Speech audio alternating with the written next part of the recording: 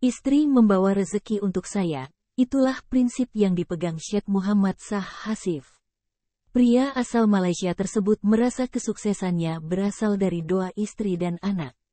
Tak heran, ketika momen Idul Fitri tiba, ia tak ragu membeli 120 baju lebaran untuk mereka. Pria asal Malaysia bernama Syed Muhammad Sah Hasif viral.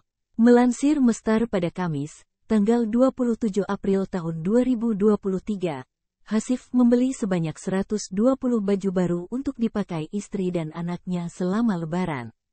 Total uang yang ia habiskan untuk semua baju-baju mencapai 200 juta rupiah lebih. Meski menggelontorkan uang yang tidak sedikit, Hasif merasa tidak keberatan.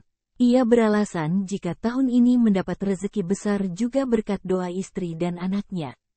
Selain ingin menyenangkan istri dan anak, Hasif juga ingin balas dendam terhadap masa lalunya.